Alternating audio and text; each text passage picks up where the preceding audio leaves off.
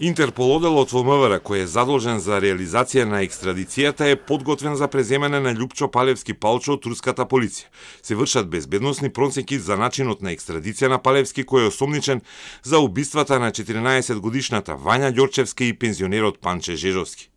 Дополнително се вршат и логистички подготовки на екстрадицијата, подготовка на документи, организација на патувањето и контактите со турската полиција од МВР, но и никој друг не открива кога ќе биде испорачан Палевски, кој според обвинителството е креатор и извршител на грозомурниот настан лани на крајот на ноември.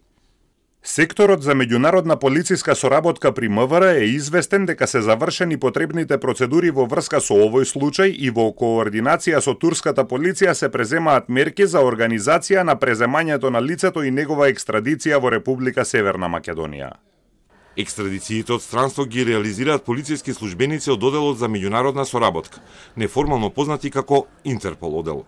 Најчесто на подолги дестинации се користат редовните авионски линии, во кои полициските службеници се во постојана придружба на лицето кое се испорачува. Имало случаи кога од поблиските држави биле организирани полициски хеликоптерски летови или дури и специјални авионски летови.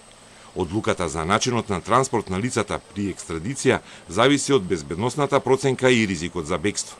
Дополнително авиокомпаниите имаат посебни услови кога превезуваат бегалци и криминалци. По доаѓањето, Палевски Палчо веднаш ќе биде префрлен во затворот во Шутка, бидејќи за него веќе има определен притвор од 30 дена.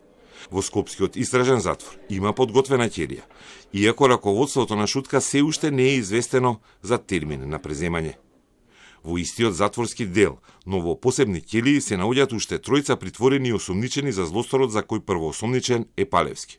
Под истрага е и таткото на Вања, Александар Ѓорчевски, којот пред десетина дена е во домашен притвор, откако Врховниот суд му го замени затворскиот притвор. Обвинителството се сомнева дека групата Лани во ноември учествувала во ограбнување и ликвидација на Панче Жежовски во Велес, а неколку дена подосна дека ја организирале и извршиле бруталната ликвидација на 14 годишната ученичка Вања. Телата на двете жртви беа најдени откако дел од осумничените ги открија локациите каде се закопани. Палевски веќе тогаш беше во бегство, а во турскиот град Баликесир е уапсен на почетокот на декември. По пет месеци, постапката за екстрадиција во Турција е конечно одобрена.